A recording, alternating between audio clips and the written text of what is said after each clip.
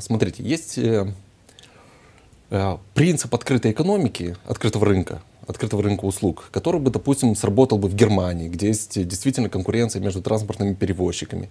И, э, допустим, перевозчик отпустил и взял, взял себе взял на себя больше пассажиропотока. У нас э, совсем другая система. Здесь я не думаю, что это сработает. Во-первых, переводчики жестко при, привязаны к маршрутам. То есть не может чужой переводчик на, работать на этом маршруте. То есть нету конкуренции, у нас не открытый рынок. У тебя маршрут, ты повысил цену, альтернативы нету, ты будешь ехать только по этой цене. То есть как оно сыграет, понимаете, здесь... То есть на, на каждом вы... маршруте, получается, свой монополист и диктует ну, свои никак, правила? Не то, что монополист. Они выставляются на торги. Ну вот маршрут, допустим, Камрад Чедернунга на 8 часов, только, только одна компания, она его выиграла. Другие не смогут поехать. То есть транспортный оператор, который поставит цену на этот маршрут, то есть он может поставить цену, у него не будет рядом конкуренции. В общем, это не та ситуация, где можно отдавать все на отдавать правила на, рынка. Естественно. К этому я и вел. В принципе, в странах, где бы работали правила рынка и была бы либерализированная система транспортных перевозок, Германия, Турция, там, с разными элементами, некоторые страны Европы, там тоже есть очень такие жесткие, как Франция, к примеру.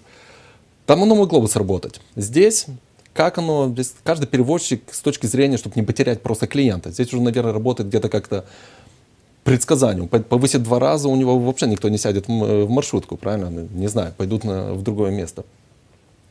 Насколько можно было так делать и не лимитировать, ну, не знаю, это достаточно, достаточно опасно. И так экономика в таком, стоит в таком э, шатком равновесии, достаточно шатком. И сделать здесь еще потенциальный такой пункт напряжения, отдать э, кому-то самому устанавливать на себя цены – без контроля, без ничего, я, я не знаю. Ну. А сейчас нету формулы. Устанавливается просто, устанавливается цена. И каждая сторона, сторона приносит формулы. Приносят транспортники, говорят, вот мне надо два лея. В свою пользу. Правительство говорит да. так. И там начинается. Говорит, а вот у меня только 60% загрузки. То есть ты, ты не, не, то есть идешь в рейс, ты не понимаешь, и со всех мест не, э, не зарабатываешь деньги и так далее и тому подобное. То есть здесь надо работать. И при том есть такой орган, как НРЭО, независимый, который подчинен парламенту. То есть здесь реально можно это поработать и сделать нормальную формулу для, разви... для транспорта.